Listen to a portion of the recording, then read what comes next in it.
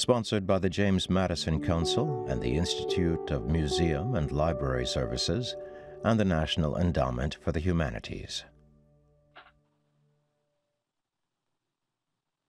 Hello, and welcome to the 2021 Library of Congress National Book Festival. I'm Osita Nwanevu, a contributing editor of The New Republic, and I'm here with Simon Winchester to talk about his book, Land How the Hunger for Ownership Shaped the Modern World. To learn more about our authors, check out loc.gov slash bookfest. Now, before we get, begin, I want to let you know that we'll save the last 10 minutes of this 30-minute live event to respond to audience questions. And you can actually start submitting your questions right now. Simon, thank you for joining us. Thank you. It's lovely to be here, Osita. So you chose a very large and broad topic for this book, uh, in some ways one of the largest possible topics. Uh, but at the end of the book, you mentioned that you came to it from a discussion with your wife about a fairly specific thing, American immigration policy. Can you talk about that conversation, how it led you to think about land and its history? I think the, what we were thinking of was when people came here, particularly in the 19th century, from Europe, um, what did they have in their mind um, when they arrived here based on their experience land ownership in Europe and how they apply that thinking when they arrive? And the basic point is until the 17th century, um, people didn't own land in Britain, 1604. And they were, people were in large numbers. Uh, I'm just thinking that my internet connection may have failed. Um, I'm just going to reconnect and see if it has. Um, so just hold your horses for a second. I can actually hear you, Simon. I don't know if anybody else can, but I can hear you pretty well. Can you hear me? Well, all right. In that case, if you can hear me, I just all of my see is a still photograph of myself, which is particularly disagreeable. But all right. Um, it's a great photo so too, actually. Previously, villages in England had, well, thank you so much. People um, living in England in the 17th century, 16th century didn't own land. They were, the land was commonly held. Then came what were called the, uh, the Enclosures Acts, and all of a sudden, land became privately owned and people were um, who had previously used the what was called common land were booted off it, and um, they came to London or Birmingham or Manchester or wherever, and became sort of disgruntled former landowners who had been booted off their land because of this new principle of enclosure. And a number of them, those that didn't necessarily go to London or Liverpool or Birmingham, crossed the Atlantic or the Indian and the Pacific Oceans to go to these newly found by Westerners countries, the Americas or uh, um, Australasia, and started settling in those places, but imbued with the idea that we've been dispossessed. If we find any people here, we're jolly well going to dispossess them. And that's exactly what happened. The whole mantra of land ownership which had made them disgruntled because they had their land taken away, suddenly became applied in particularly North America, particularly in Massachusetts and Virginia, the early uh, places to be settled by white colonists. And if they found any people there, they then dispossessed them. So the infection began in Europe, was immediately transported to the New World. Right. And you know, one of the things I, I liked about the book too is that uh, you talk about that broad historical perspective, but you also begin by talking about your own personal experience with land ownership as a jumping off point for everything you, you delve into, both the history of native dispossession and, and everything else. Um, it begins with your purchase of a tract in upstate New York, which is small in the grand scheme of things, but in talking about what that land had once been, you lead the reader to consider larger things. So can you talk a little bit about how you came to learn about your own land and how learning about it changed your own experience of it? It did indeed. So I bought um, when I used to live in Hong Kong, and when I left Hong Kong at the end of the 1990s, I came to America and um, settled here and bought a little house in the um, essentially in the Hudson Valley, and um, fell in love with the house. And uh, a local hunter said he didn't want to own the land that surrounded my house because he had to pay taxes on it why didn't I buy it from him? He named a price. And it wasn't very good land and it was very low price. So I bought it and um, didn't really think too much about it until 2011. And 2011 was when I became a citizen of this country.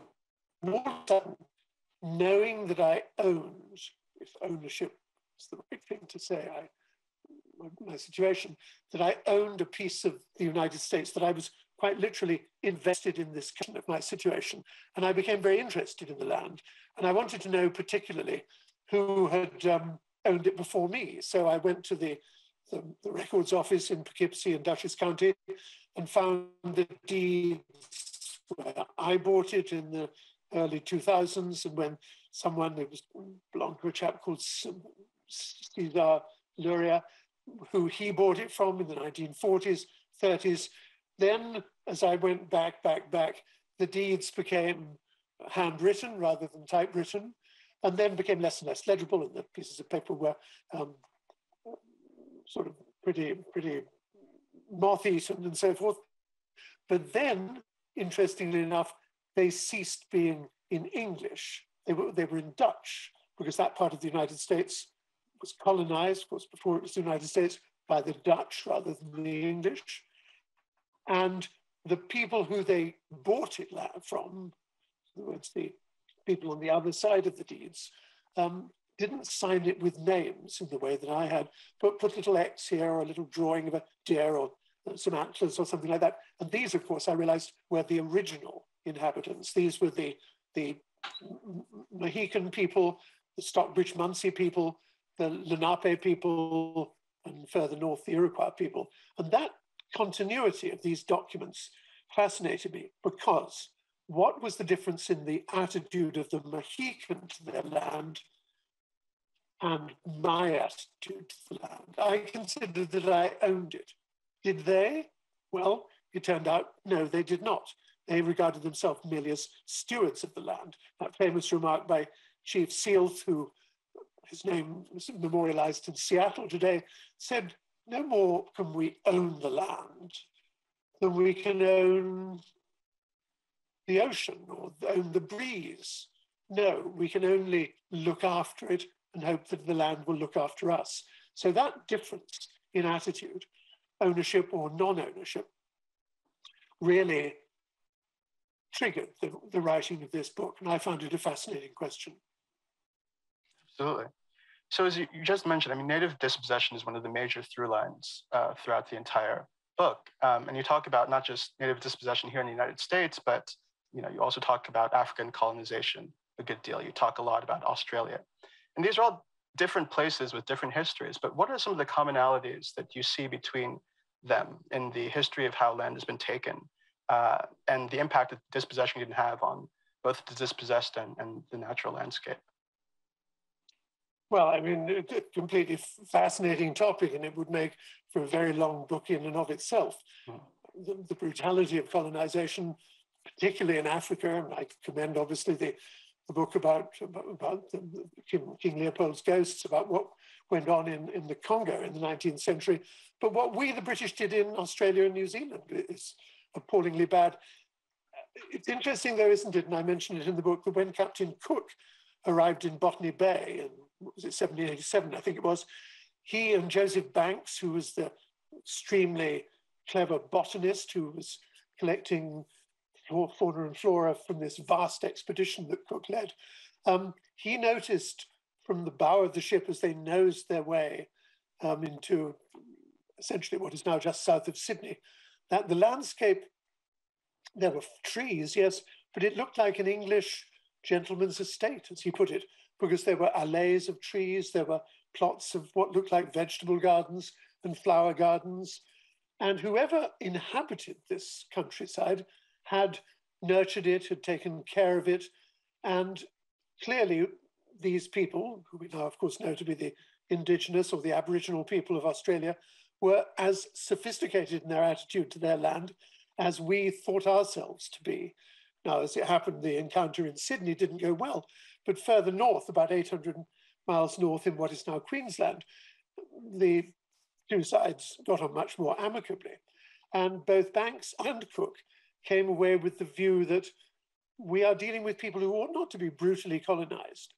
Rather, our relationship with them should have been one of engagement. That, however, was not the view taken back in London when Cook and Banks got home.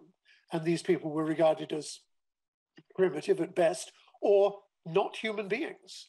I mean, I uh, dedicate the, the book to a, a Ponca, a Native American, who was only as late as the late 19th century, was only then by the US Supreme Court declared to be a human being. It is extraordinary, is it not, that Aboriginal peoples, indigenous people, were by the British particularly not regarded as humans. And if they weren't, and if the lands that, quote, we discovered, unquote, were not thought to be inhabited by people, then they were in law, in our law anyway, terra nullius, empty land, and we could colonize it willy-nilly. willy-nilly. So our attitude of colonizing opened up a whole slew of unfair and atrocious behavior, which I hope this book illustrates. Yeah, I think it does that pretty well. Um, you know, another portion of the book uh, isn't really about land itself so much as it is about maps, how we draw out, define, and categorize places and what happens when we do. And there are two parts of this section that I hope you, you can talk about a little bit. Uh, the one, the first one is, you know, a smaller thing, the, the culture of maps in Britain. Before reading this, I didn't really know that there was such a widespread love and reverence for maps in, in the UK. So maybe you could talk a little bit about the Ordnance Survey maps, you know, what they are and wh- why they mean so much to people. Um, and the second thing I was hoping you could talk about is the International Map of the World, that 19th century project to create a common standardized map uh, that ultimately failed. Why did it fail, and what should that suggest to us about the politics of land? That's a lovely question, and I seldom get asked it. So I'm, I'm thank you very much for indulging my particular passion for maps. Um, well, the Ordnance Survey, the OS maps, as they're called in Britain, they go back, and the Ordnance, it's, it's where you cite your cannons. So these were originally military maps made in Britain originally at the scale of one inch to the mile. That's one to 63360, which every school child in England knows those numbers. There were about 250 of them, I think. And you could go to almost any shop in Britain that sold, you know, candies and tobacco and things like that. And there would be the local OS maps um, folded um, such that if you unfold them, you can either buy them such that you can use them in the rain, they're, they're waterproof, or less expensively ones that will not stand up to hard weather. But if you ever go walking, and of course the British are great walkers, um, there would be a map for you. And I was in Scotland, well, before the pandemic, and wanted a map of the island of Raasay in Western Scotland. And there it was, map number 42 or something, and pay about two pounds for it. They're wonderful, wonderful maps, all down to the same scale, the same colors, the same what are called conventional signs. You know, this is a church with a steeple, this is a church with a spire, this is a post office, this is a telephone box. And you have as a school child to learn these things, and you'll be on the chalkboard, the instructor will draw a symbol, and you'll have to say, oh, that's a, a, B class road, or that's a 500 foot contour line, or that's a wetland. Well, this whole idea of a unified series of maps was then expanded onto the global scale in the late 1880s, I think it was, at the Geographical Congress held, I think, in Switzerland. And it was championed by a man called Albrecht Penck, who said, well, the British have done very well with the one per six inch to the mile maps of the British islands. Let's do it for the whole world. And we'll do it at one to the scale of a million. And the whole world, if it's mapped, and the projection of the maps is such that if you stuck them all together with tape, you would produce a sphere one millionth the size of the sphere or the spheroid that is our planet, a millionth smaller. And everyone thought, what a capital idea.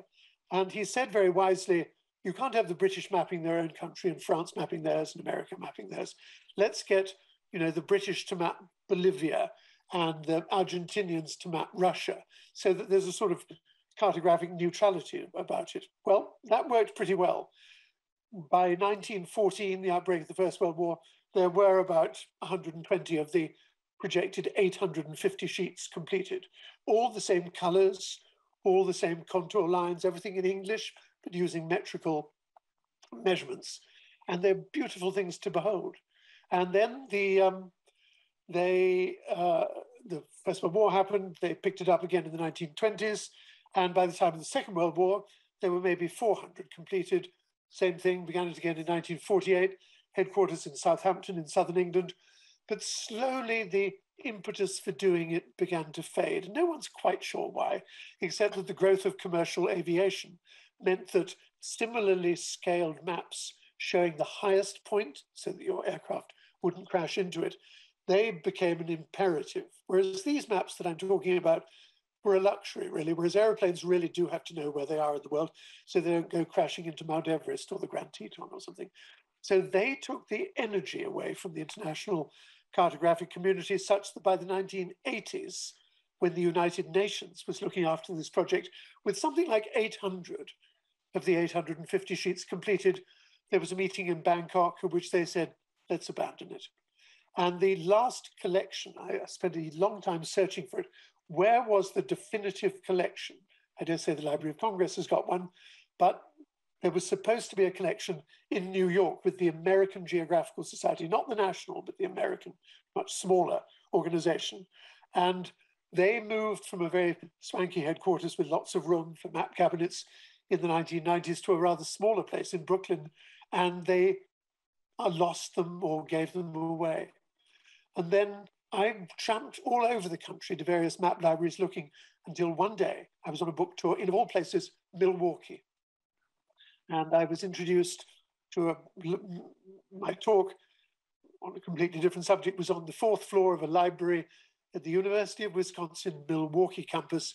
And I walked in and there was every imaginable globe and thousands upon thousands of map cabinets and this wonderful lady called Marcy Bidney. And I stepped forward and I said, you haven't got, and she said, I have got, I know what you're looking for. She walked over to a cabinet and opened a drawer and in it were sheet after sheet after sheet of these beautiful maps of the most obscure corners of the world done in what I still think of as a great piece of cartographic visionary behavior, um, which was abandoned in the 1980s. So, it's a very long answer to your question, but if anyone wants to go and see them, go to Milwaukee. A, a long uh, but wonderful answer. And honestly, it, it, it, would be impossible to cover everything that you encompass in this book uh, in, in just 20 minutes time. Um, but I, I, think you've done a good job of giving people a taste and they can look to the book for the rest. Before we, we turn on to the, uh, the audience questions, I did want to get a chance to ask you the theme uh, question for the festival this year. Uh, the festival's theme is Open a Book, Open the World. Uh, you're the author of many, many, many books, I think over 20 books, if I'm not mistaken. Uh, so this is a question that really suited to you. How have books opened your world? It's funny, I, I, had no warning of this question until I said, What is this question? And you told me about 20 minutes ago.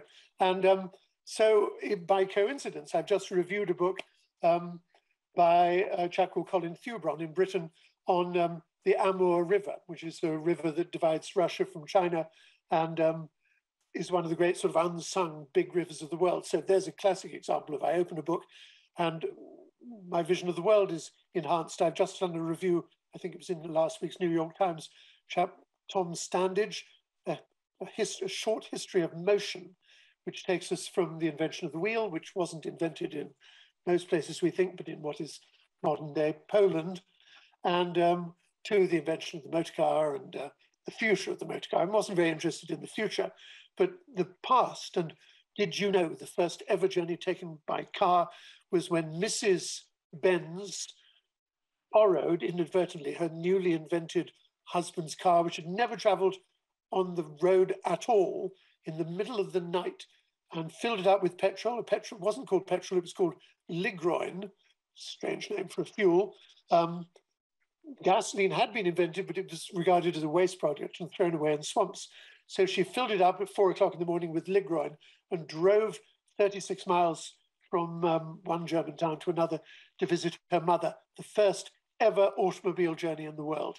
And that's given us everything that we know, either love or hate, freeways, parking meter maids, you know, speeding fines, congestion, pollution, and so forth. So my world has been hugely opened by books, yes. A wonderful, wonderful answer. So we'll go to audience questions now. Obviously, we're not going to be able to get to all the great questions people have submitted, but we'll be able to get to uh, a few. So Guy uh, asks, is the concept of land ownership as old as history itself? Do we know how the concept originated? You do actually spend a good bit of time in the book talking about this, the agricultural origins of land demarcation. Uh, could you could you give a, a condensed summary of, of what we know about that? Yes, very quickly. I went to boarding school in Dorchester in Dorset in England. The village that we used to do our cross-country runs to was called Radipole, a pretty little village about six miles away, not a very long cross-country run.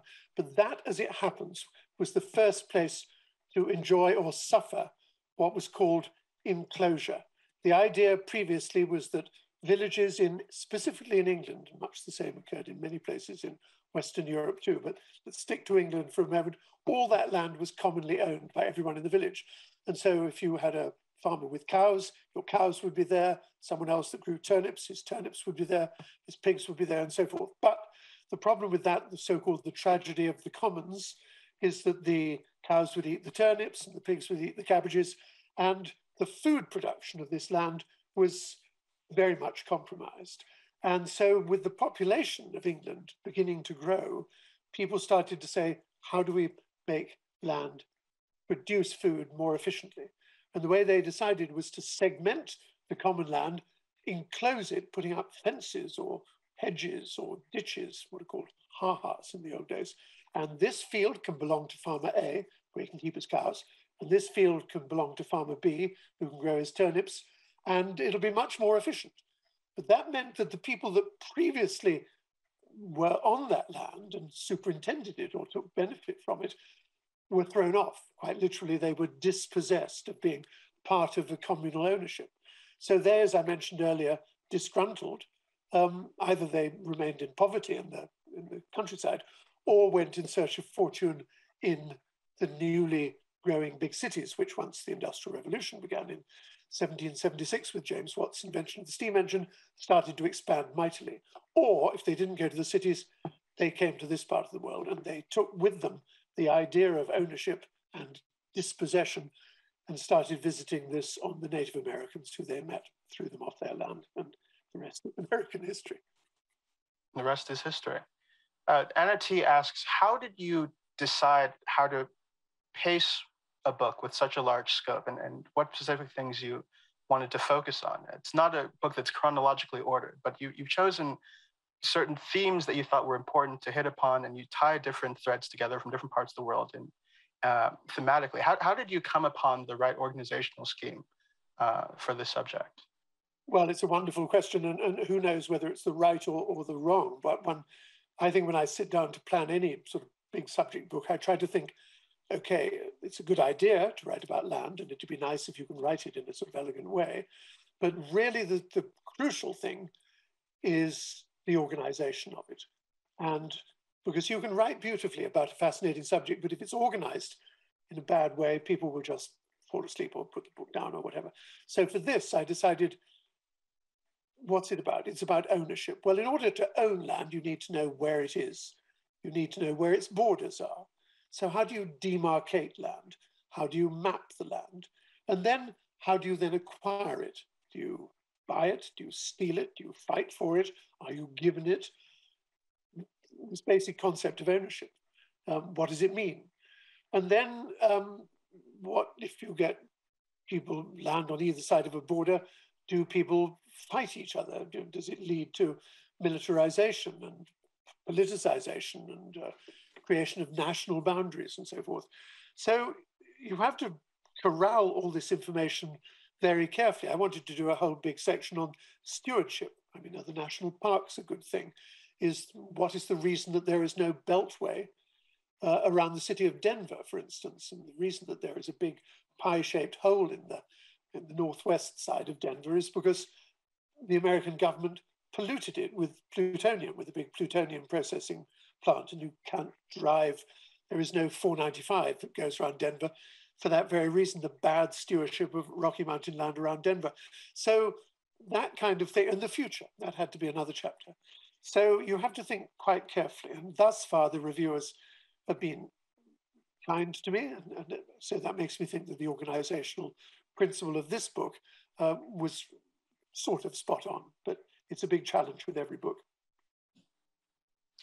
So John has a question I actually had myself uh, reading this. He says many animals uh, in animal world seek to maintain their own territory, and he wonders if that drive has anything to do with our concept as human beings of land ownership and, and what land means. Did, is that a topic that you considered uh, thinking through in the book directly? Is that something you've thought about yourself?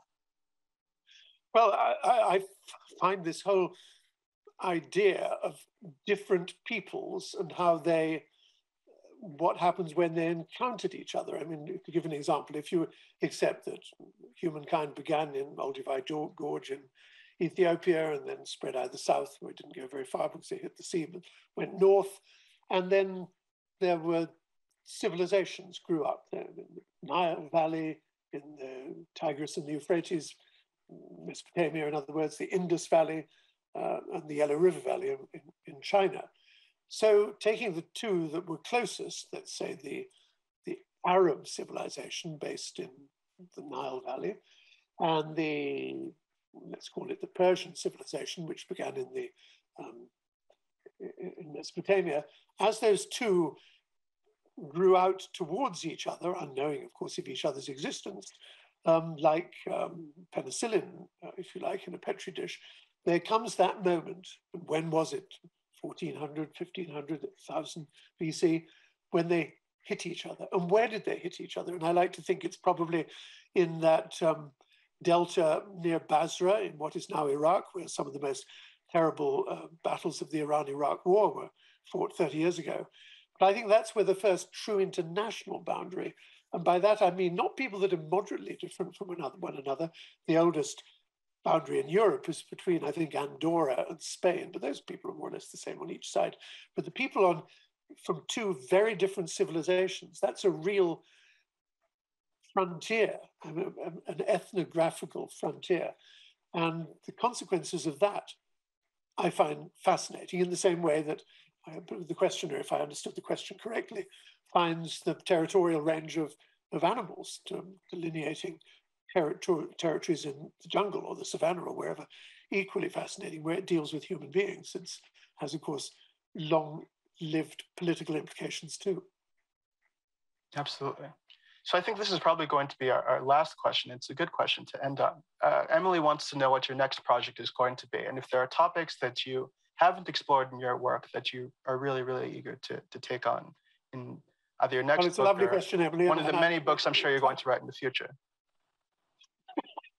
The book I'm doing at the moment is, uh, as I was mentioning to Osita at the beginning of this uh, story, the topics seem to get smaller and smaller. This is on the, the history of the diffusion of knowledge. Um, the idea being that with knowledge now literally at the touch of a button, thanks to Mr. and Mrs. Google, um, I wonder, I fear, as I'm sure many teachers and so forth fear, that knowledge doesn't necessarily lodge in our heads anymore, at least to the same extent that it used to before Google and like things took off in a big way. My fear, therefore, at least this is the question in the subtitle of the book, which I'm sort of thinking of calling Knowing What We Know, uh, the history of the diffusion of knowledge and the threat to the future of wisdom. If you accept that wisdom is knowledge multiplied by, multiplied by experience, you may end up with people who are very old and consequently have the potential for lots of experience, but don't have as much knowledge up here as they once used to because of the presence of it at the touch of a button. And so wisdom may cease to be a component of, of the human mind. And is that worrisome? So I look at all manner of how knowledge is diffused, encyclopedias, the internet, of course, teaching, how that's changed, what everyone ought to know. And I ask everyone I meet, I was at a cocktail party last weekend, and I said, I must be the most boring person to have a cocktail with. Okay, I want to know what every child in the world, when at 16, ought to know. For instance, I say, I think it is useful for everyone to know both the concept of and the value of pi. And you'd be surprised how many people had no idea what I was talking about. People who were 16, 17, or 18 or, or, or older. I'm not going to embarrass anyone here by saying, do you know what pi is? But I think everyone ought to know that the ratio between the circumference and the radius of a circle is 3.14159.